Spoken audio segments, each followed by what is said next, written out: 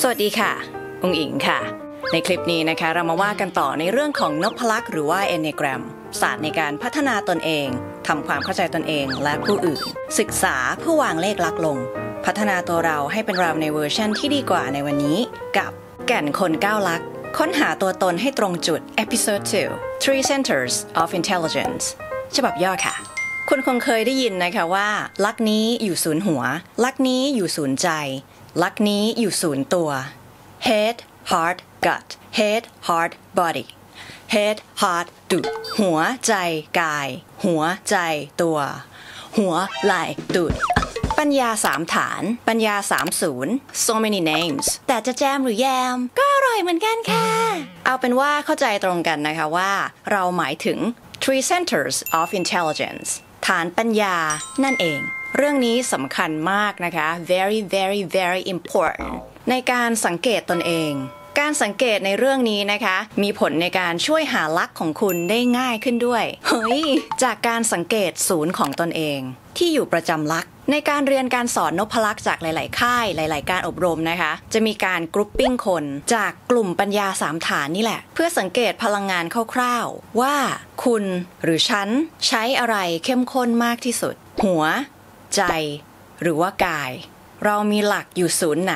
จากนั้นค่อยๆ เจาะลึกลงไป ทีละชั้น ทีละชั้น จนไปถึงแรงขับเคลื่อนภายใน จนถึงจุดเกิดกิเลส จากนั้นนะคะคุณลองนำทุกๆส่วนเนี่ยมาประกอบกันกับเรื่องของกิเลส ซึ่งเป็นแรงขับที่อยู่ภายในของเรา เรื่อง fixation ความคิดยึดติด กลไกการป้องกันทางจิต จุดใส่ใจสิ่งหลีกเลี่ยง เป็นต้น แล้วคุณจะอ๋อมากขึ้นนะคะ ในการเห็นกลไกต่างๆ เนี่ยมันทำงานร่วมกันอยู่ค่ะ ปัญญาทั้ง 3 นะคะได้แก่ หัว ใจ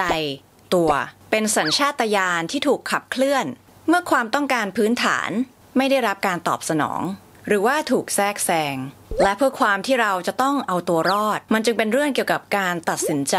เวลาได้รับสารอะไรเข้ามา ไม่ใช่สารเคมีเนาะได้รับข้อมูลอะไรอย่างเงี้ยเข้ามา หรือเกิดเหตุการณ์อะไรบางอย่างขึ้นกับเรา สัตว์เลี้ยงลูกด้วยนมทุกชนิด จะมีสัญชาตญาณในการตอบสนองต่อสิ่งเหล่านั้น ค่อนข้างต่างกัน เนื่องจากเราสามารถรับรู้สิ่งต่างๆ ในโลกนี้ได้ 3 ทาง ทางความคิด ทางความรู้สึกและทางสัมผัส ซึ่งมันไวมากๆนะคะ แล้วก็อัตโนมัติมากๆ and yes we have all three of them เรามีการใช้มันทั้ง 3 อย่างทั้ง 3 ศูนย์อยู่แล้ว ความคิด อารมณ์ และสัญชาตญาณคนที่อยู่ศูนย์หัวก็ไม่ได้แปลว่า เขาไม่ได้มีความรู้สึก หรือเขาไม่ได้มีการใช้สัมผัสสัญชาตญาณคนที่อยู่ศูนย์ใจ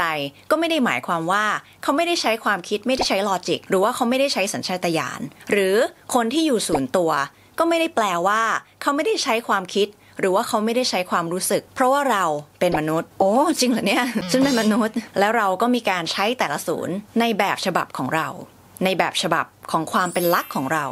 แตกต่างกันไปตามสถานการณ์ซึ่งเมื่อเราใช้ศูนย์ใดศูนย์หนึ่งมากเป็นพิเศษ จนมันกลายเป็น default เป็นศูนย์หลัก เป็น base เป็นฐาน เป็น dominant center of intelligence ซึ่งเรามีการใช้มันอย่าง hardcore อยู่แล้ว เอะอะใช้ เอะอะก็กลับฐานเดิม ก็มันถนัดอย่างนี้ยค่ะ แล้วคุณล่ะคะ รู้ตัวบ้างหรือเปล่า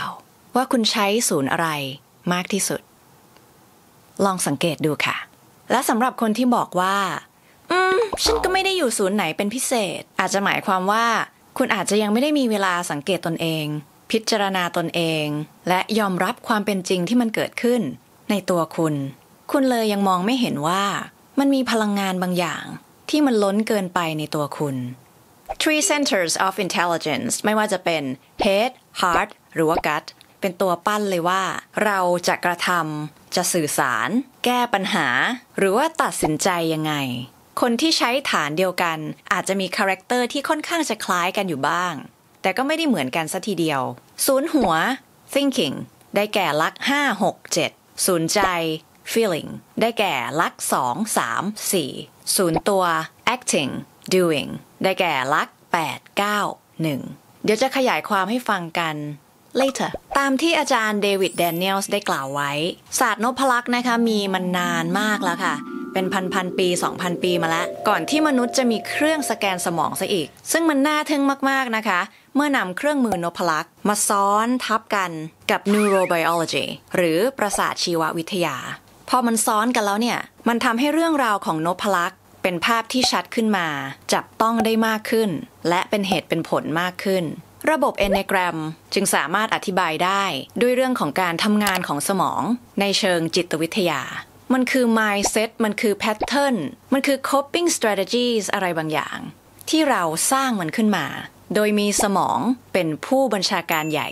ทำให้เราสามารถเห็นความเป็นฐาน thinking mental emotional instinctual ได้อย่างชัดเจน การที่เราศึกษานพลักษ์นะคะ ก็เพื่อที่จะหยุดและสะท้อน เพื่อสังเกตตนเอง และรู้เท่าทันการทำงานของมัน เพื่อให้อยู่กับปัจจุบันให้ได้ ไม่ติดอยู่กับความคิดกับความรู้สึกอะไรบางอย่าง ที่อยู่ในอดีต ไม่ดีดดิ้น ที่จะบินไปอนาคต ก่อนที่จะลงมือกระทำใด ๆ ลองคิดไตร่ตรองก่อนสักนิด หรือว่าใส่ความรู้สึกลงไปสักหน่อย ไม่มากไป และไม่น้อยจนเกินไป สมดุลยินเนาะซึ่งถ้าทำได้จริง ๆ ก็จะดื้อมากๆนะคะ เอาเป็นว่าอะไรก็ได้ค่ะที่ทำให้คุณหายใจโล่งๆได้นะคะ อ้างอิงจากหนังสือของ Paul McLean The Triune Brain in Evolution ได้เขียนไว้ประมาณว่า มนุษย์รวมถึงแมมมอลหรือว่าสัตว์เลี้ยงลูกด้วยนม จะแบ่งฐานปัญญาออกเป็น 3 ส่วน ส่วนแรกที่มีการพัฒนาขึ้นนะคะ คือส่วนของ reptilian instinctive mind เป็นส่วนสมองของสัตว์เลื้อยคลาน ซึ่งเกี่ยวข้องกับเรื่องของสัญชาตญาณ การกระทำใด ๆออกไป โดยสัญชาตญาณ ไม่มีความรู้ตัวเพื่อมุ่งเอาตัวรอด เช่นเวลาที่คนมาแตะตัวเรา แล้วรีเฟล็กของเราคืออะไรประมาณนี้นะคะแบบโอ๊ยไม่ได้รู้ตัวเลยว่าแบบต่อยออกไปเขาไม่ได้ผ่านการคิดอะไรก่อน และเกี่ยวข้องกับการควบคุมการทำงานของร่างกาย ไม่ว่าจะเป็นการหายใจ หายใจเข้า หายใจออกเป็นต้น ซึ่งปกติแล้วนะคะ ถ้าเราไม่ได้มาสังเกตดีๆว่า เฮ้ยนี่หายใจอยู่อะเฮ้ยนี่ฉันยังไม่ตายอะฉันหายใจเข้าแล้วฉันหายใจออก เราอาจจะไม่รู้ตัวด้วยซ้ำว่าเฮ้ยฉันหายใจอยู่แฮะ แล้วคุณทราบหรือเปล่าคะ ว่าตอนนี้ลมหายใจของคุณเป็นยังไงบ้าง ซึ่งทั้งหมดนี้นะคะก็เป็น instinct ของศูนย์กาย ตามมาด้วย limbic system mammalian paleo mammalian อ่านยากแท้หรือว่า emotional mind เกี่ยวข้องกับเรื่องอารมณ์ ความรู้สึก ก็คือศูนย์ใจ และ neocortex หรือ neo mammalian analytical mind analytical mind เกี่ยวข้องกับการวางแผน ใช้ความคิดวิเคราะห์ในการตัดสินใจ ก็คือศูนย์หัวนั่นเองค่ะ เดี๋ยวขอเจาะตรงนี้นิดนึงนะคะ ไหนๆก็พูดถึงเรื่องสมองกันแล้วสำหรับคนที่บอกว่า ความรู้สึกไม่เกี่ยวกับสมอง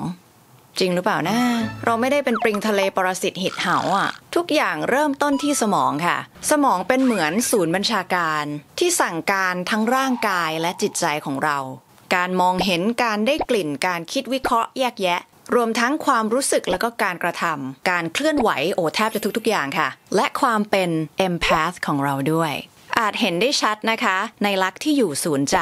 อย่างลักษณ์สองลักษณ์สามและลักษณ์สี่รวมถึงลักษณ์เก้าด้วย ที่อยู่ศูนย์ตัว เราจะพบคุณสมบัติความเป็น empath ได้ถี่เป็นพิเศษ นั่นก็เป็นเพราะว่าสมองทั้งนั้นค่ะ สมองมีพื้นที่ที่มีความเชื่อมโยงกันของการเกิดความรู้สึกเห็นอกเห็นใจ ความเข้าอกเข้าใจ หรือ empathy ในสมองส่วน ว่าแต่ละชื่อ ขอสำเนียงค่ะ supramarginal gyrus yeah สมองได้ทำการประมวลผลโดยอัตโนมัตินะคะ เราจึงไม่ค่อยรู้เท่าทันมันเท่าไหร่ค่ะ ซึ่งการเกิด empathy นะคะ ก็เกิดจากการที่สมองเนี่ย มันก็ประมวลผลของมัน จากการได้รับข้อมูลมา empath เนี่ยมันเกิดจากการที่เรา projection projection ก็คือกลไกการป้องกันทางจิตประจำลักหกนั่นเอง ซึ่ง projection นี้นะคะ ก็เป็นกลไกสากล ไม่ว่าคุณจะเป็นลักอะไร เพศไหนเกิดที่ประเทศอะไร ทุกคนล้วนแต่เคย projection กันแล้วทั้งนั้น มันก็คือการฉายภาพในหัวเราออกไปยังภายนอก ป้ายใส่โลกภายนอก ในเคสนี้นะคะเป็นการฉายออกไปว่า เขาจะต้องรู้สึกแบบนี้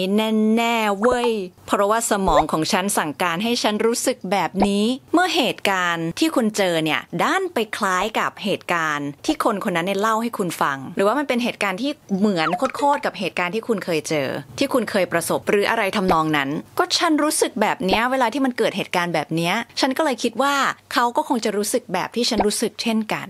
มันจึงเป็นการสะท้อนกัน สมองจึงเกิดการแปลสาร แปลงเหตุการณ์ แปลท่าทาง และข้อมูลเรื่องราวเศร้าๆความกลัวของคนที่เล่า ความกังวลใจต่างๆ ที่มันออกมาผ่านเรื่องเล่าของเขา เหมือนส่องกระจกแล้วสะท้อนเห็นตนเอง สมองจึงทำการประมวลผลว่า จงอินทำให้เรารู้สึกอินไปกับมันมากๆ ไม่ว่าจะเศร้าหรือว่ากลัวตามคนเล่า คุณจึงรู้สึกว่า คุณสามารถที่จะรู้สึกถึงความรู้สึกของคนอื่น I may sound like a narcissist but it's true for example มีภาพหนึ่งภาพค่ะ ความรู้สึกของคนที่เห็นภาพนี้ แน่นอนค่ะ มันต่างกัน เพราะสมองของคนเราประมวลผลต่างกัน บางคนดูแล้วสะเทือนใจอะจมูเจมูน่าสงสารดูสิบ้านจมูกน้ำท่วมอะส่วนบางคนดูแล้วอาจจะไม่ได้รู้สึกมีอารมณ์ร่วมอะไรขนาดนั้น หมูยิ้ม น่ารัก ซึ่งมนุษย์เรานะคะ ที่มีสมองสามส่วนนั้นน่ะมักจะปรุงแต่งให้กับภาพภาพนั้นเนี่ย ขึ้นมาเอง และคนเรามักจะเอาความรู้สึกของตนเองเป็น self center และมักจะเผลอคิดไปว่า เขาคงรู้สึกแบบนั้นแน่ๆเลย ซึ่งมันจะจริงไหม ก็อาจจะจริงหรืออาจจะไม่จริงก็ได้ ไม่รู้ล่ะ เอาความรู้สึกเราเป็น reference ไว้ก่อน คนเรามักจะเป็นแบบนี้ค่ะ และนี่ก็คือการทำงานของ empath ฉบับย่อ ที่คุณไม่ได้ขอแต่เราจะให้ ขอบคุณที่รับฟังดิฉันนอกเรื่องค่ะ